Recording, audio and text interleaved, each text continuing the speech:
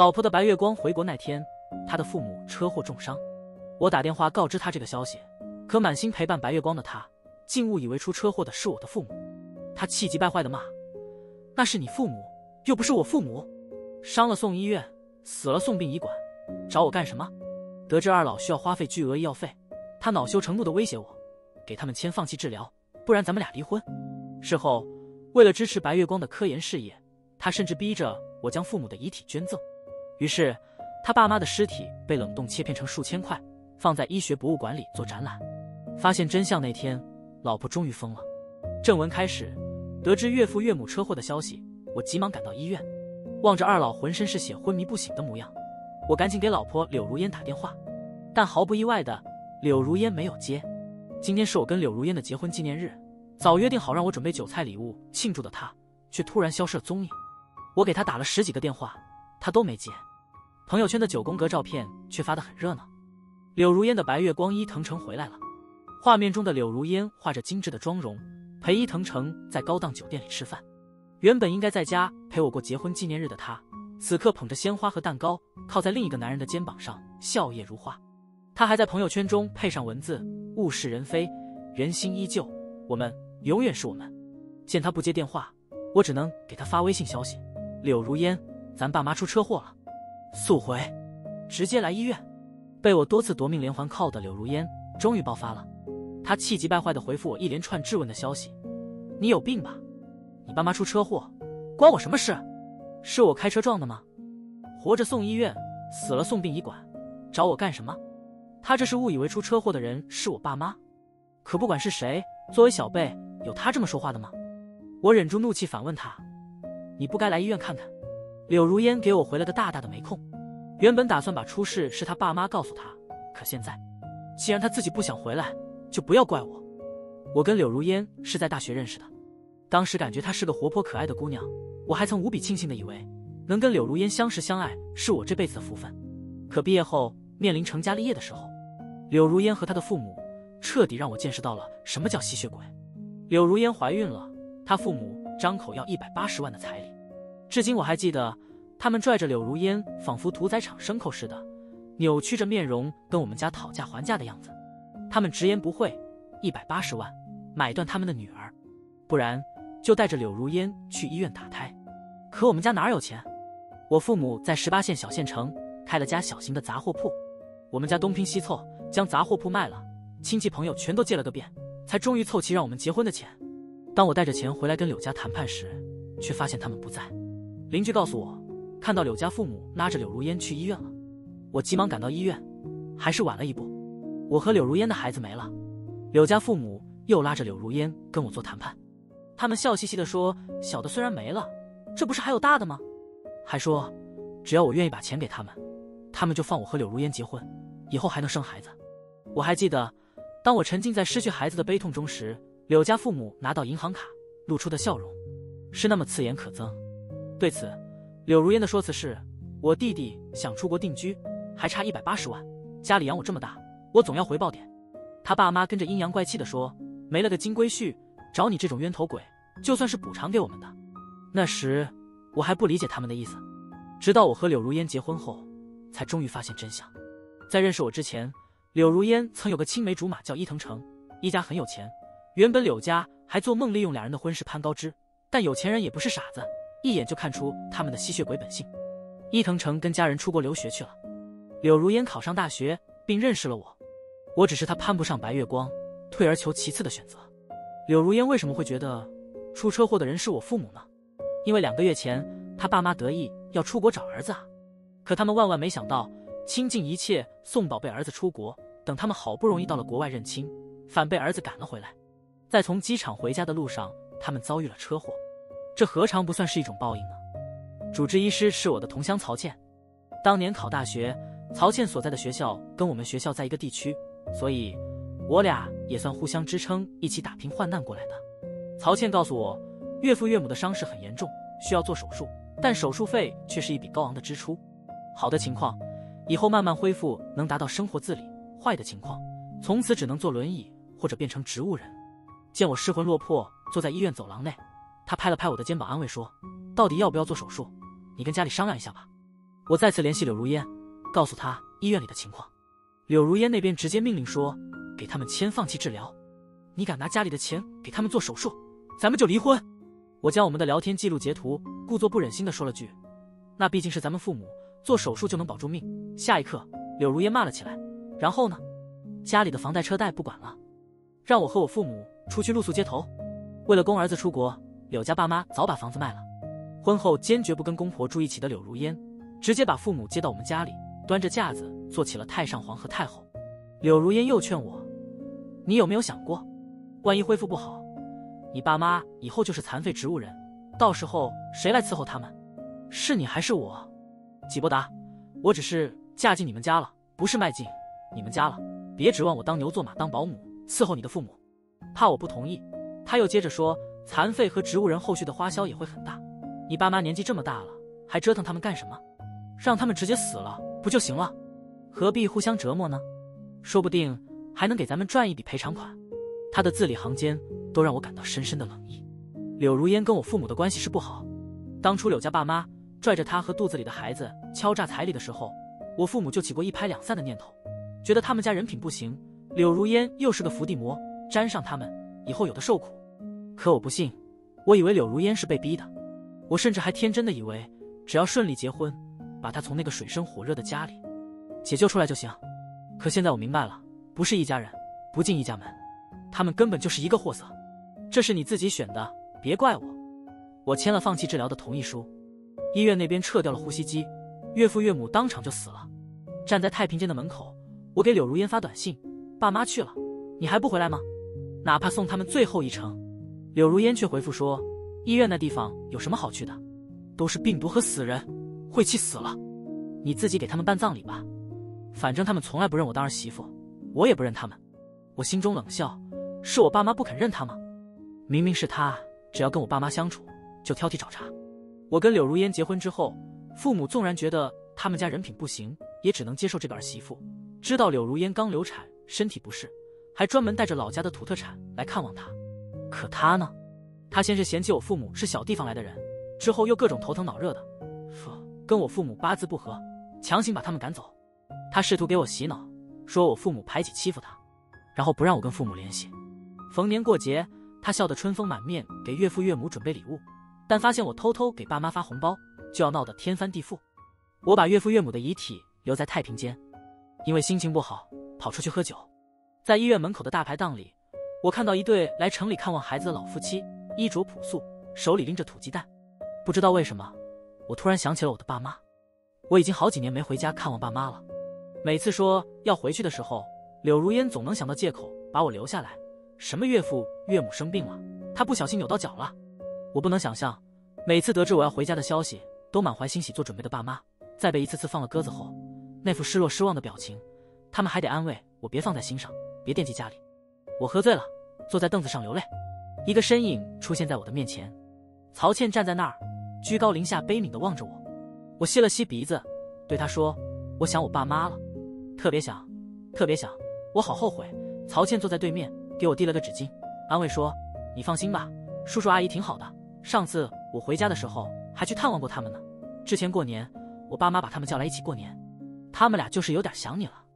有时间就回去看看他们吧。”我重重的点了点头，在心中萌生出一个决定：等把这里的事处理完，我一定要回家。媳妇可以不要，但我不能再让爸妈受委屈。我满心燃烧着烈火，将杯中的酒一饮而尽。这时，我又接到柳如烟的短信。老公，有件事情，我想跟你商量一下。阿成之前在国外读的医学博士，他这次回国要做研究，但缺少大体老师，能不能把咱爸妈的遗体捐给他？伊藤诚这个名字，像是我和柳如烟婚姻中的阴影。柳如烟曾不止一次的追寻着他的身影。有一次，我俩在逛街，他远远的看到疑似伊藤诚的身影，立刻甩下我追了上去，结果发现空欢喜一场。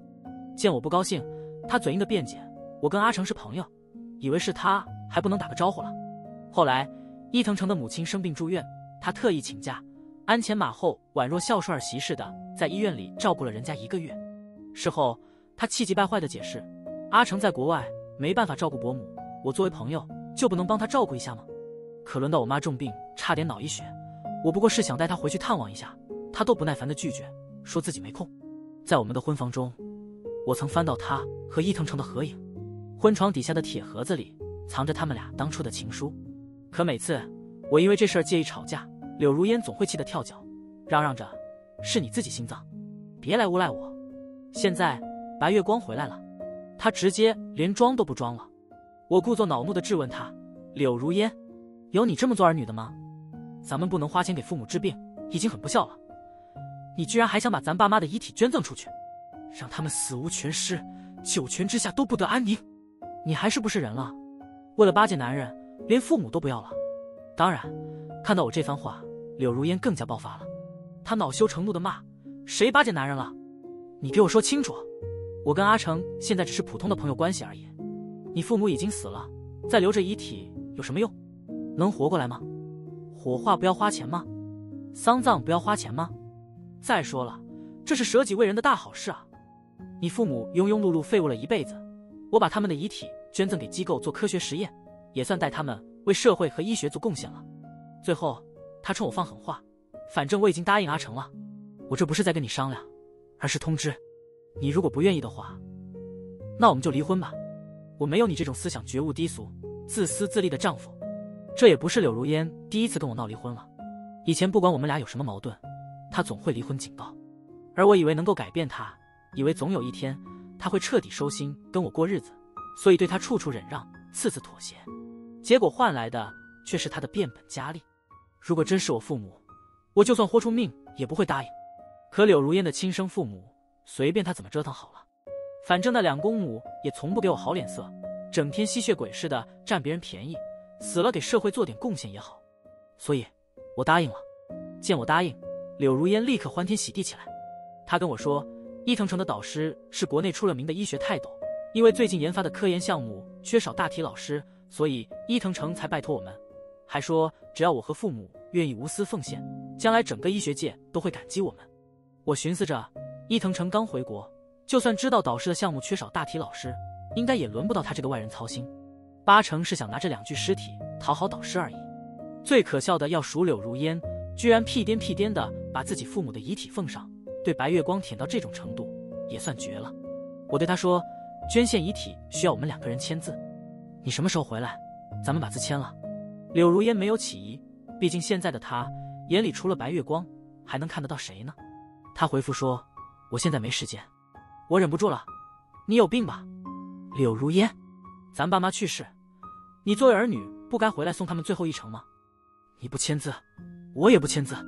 捐遗体的事就算了。”柳如烟匆匆地说：“今天很多朋友知道阿成回国，特意举办派对为他接风。阿成喝了点酒，不能开车，我待会儿还要送他回家呢。我这会儿离席怎么行？”他最后出主意说：“这样吧，你把捐赠同意书送到酒吧。”你在门口等我，待会儿打电话喊我下去签字。我还真把遗体捐赠同意书送给了柳如烟。柳如烟看起来挺慌的，下楼的时候还不时望向身后，仿佛担忧自己离开了伊藤诚会被欺负似的。我压着捐赠书的上面，露出底下签字的一角。柳如烟果然没耐心看清楚资料内容，她毫不犹豫的在底下签了字。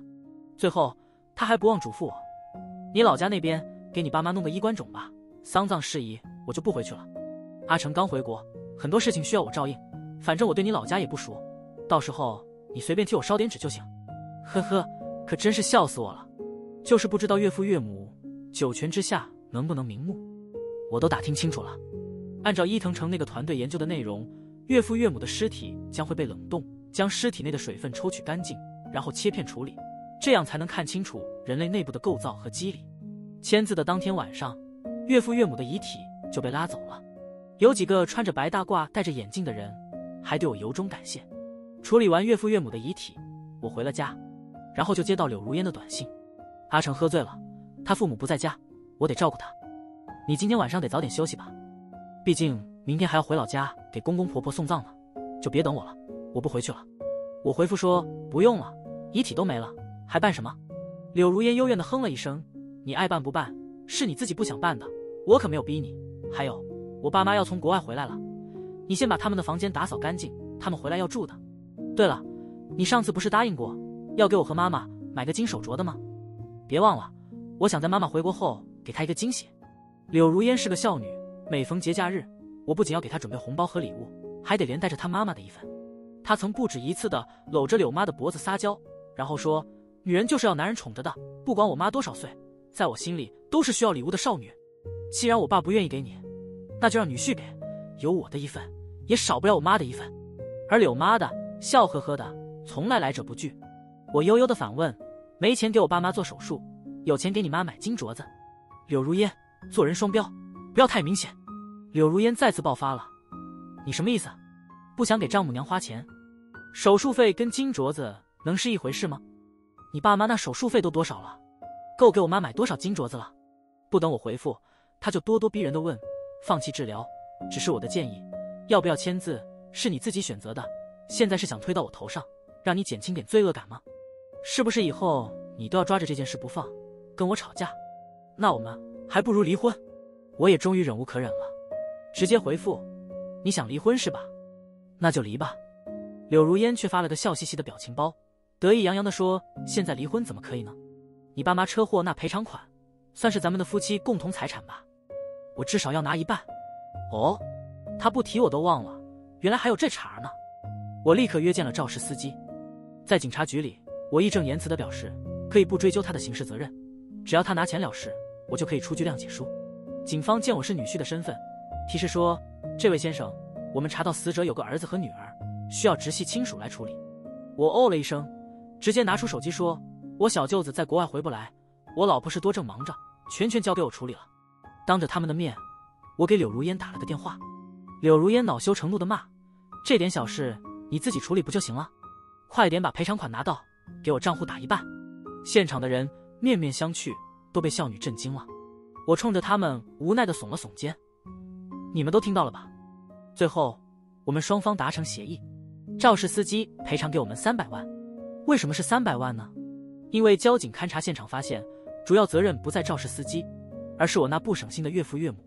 是他们在高速公路上跟出租车为了几块钱的车费掰扯，岳母还气不过，跟出租车司机抢方向盘，才导致出租车撞上对面的大货车，然后对面大货车超载。没来得及刹车，才导致车祸如此严重。拿到三百万以后，我给柳如烟赚了一百五十万，最后跟柳如烟说：“我们离婚吧。”柳如烟不屑：“你父母已经死了，你这时候离婚有什么用？不离婚，你还有我和我爸妈；离了婚，你孤家寡人，到时候别孝子没做成，再哭着回来求我。”我悠悠的哦了一声，说：“谁说我孤家寡人了？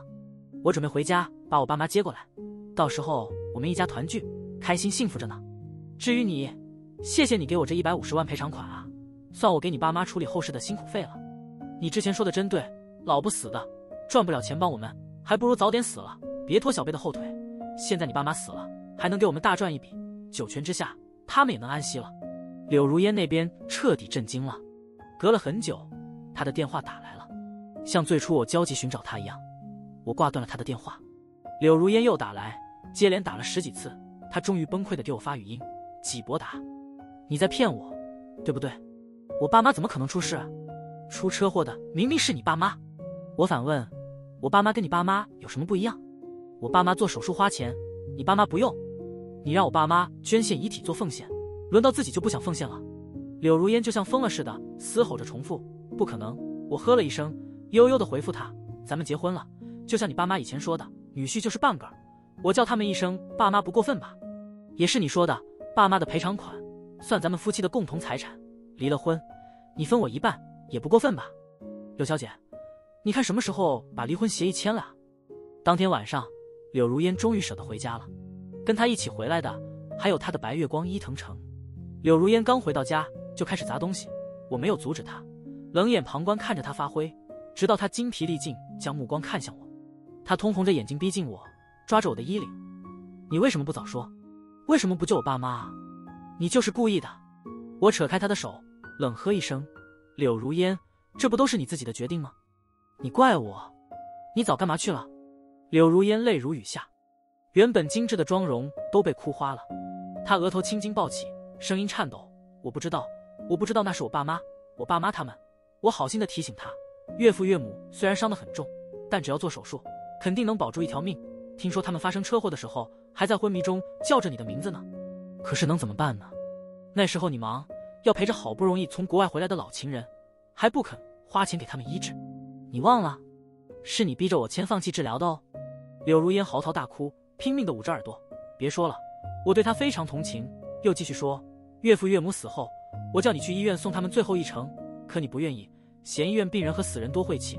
最后还是我这个他们从来看不上眼的女婿，送了他们最后一程，也算是替你尽孝了。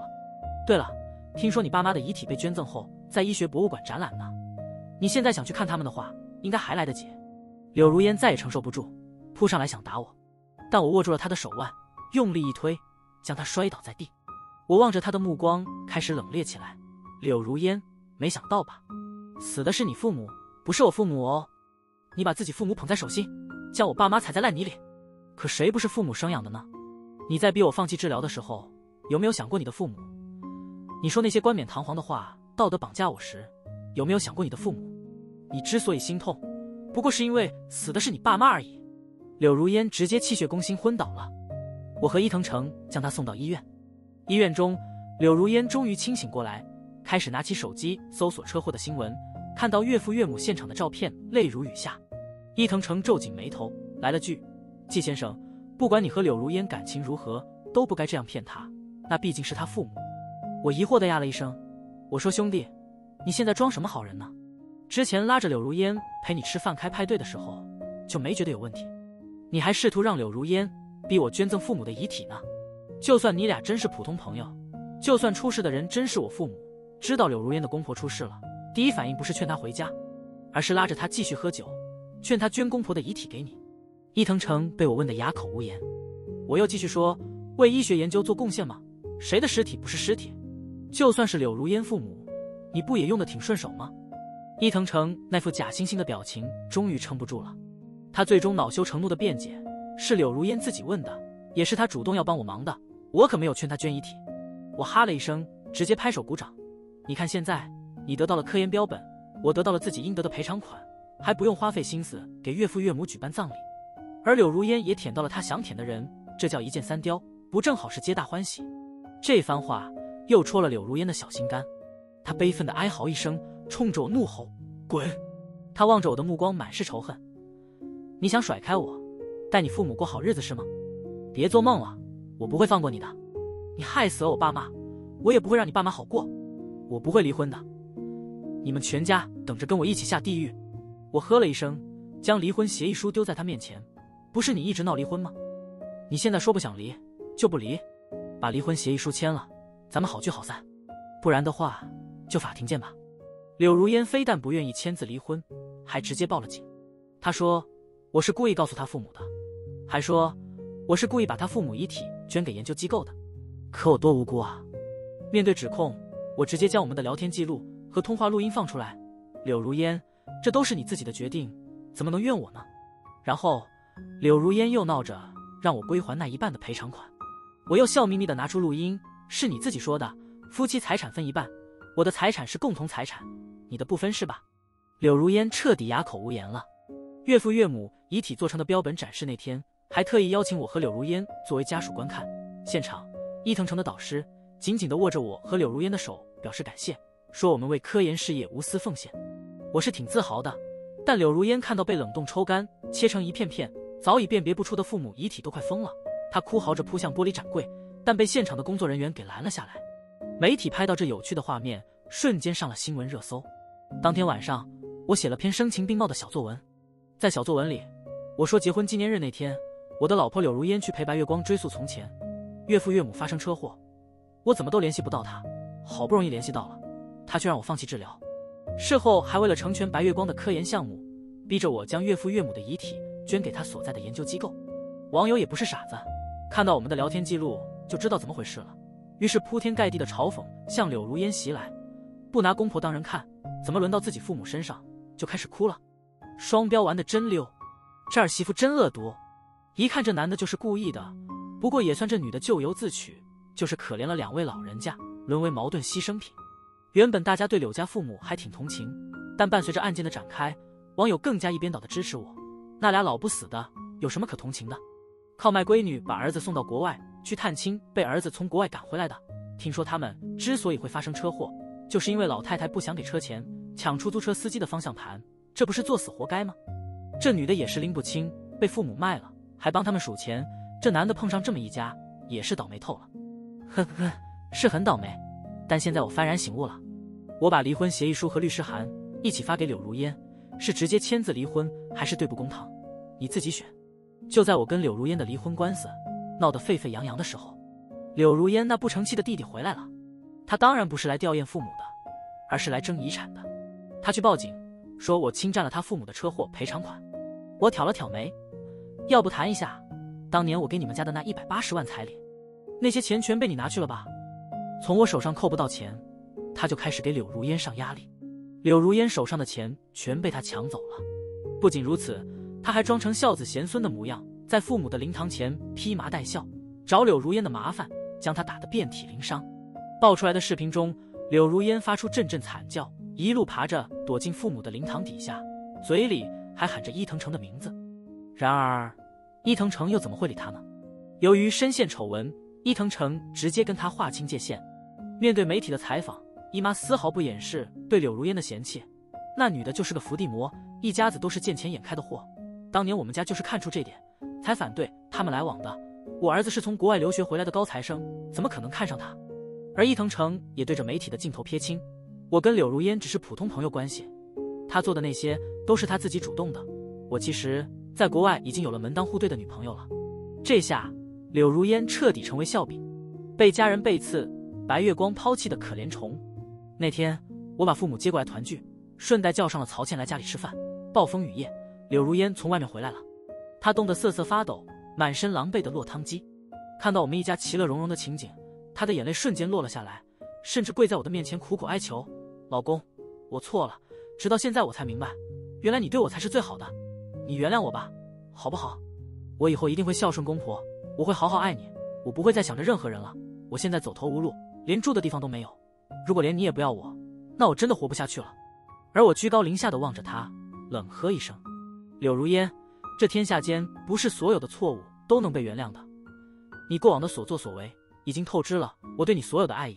我现在只想跟你分开，快点在离婚协议上签字吧。被我赶出家门以后，柳如烟死了。警方在大河中发现了她的尸体。据当晚的监控，柳如烟从家里出来以后，一个人在大雨中徘徊很久，最终来到跨江大桥上踟蹰发呆。她先是悲哀的笑了一阵，又发出凄厉的哭声。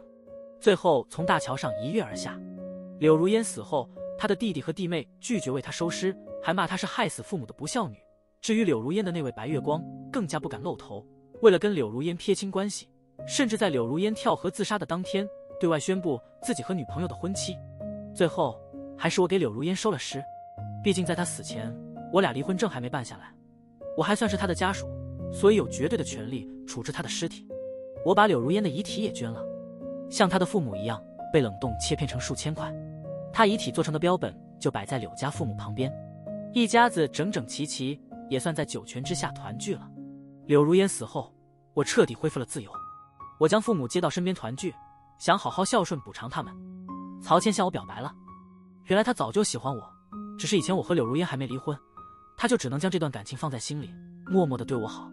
父母一脸笑意的告诉我，人家姑娘心正，在你不在的时候。经常去看望我们，一看就是个好媳妇。我和曹倩结婚了，婚后我们的日子幸福美满。曹倩是个温柔好脾气、三观正的女人，对我的父母也好。当然，投桃报李，我也一样孝顺她的父母。过年时，我将曹家父母接来一起过年。席间，我爸妈和曹家父母一个劲儿的夸我和曹倩。最后，我不好意思的说：“这有什么？这都是我们应该做的。什么你的父母，我的父母。”既然我跟曹倩结了婚，那就是我们共同的父母，不该区别对待。当天晚上，曹倩还告诉我一个好消息，她怀孕了。以后我们一家完完整整，开始幸福美好的生活。全文完。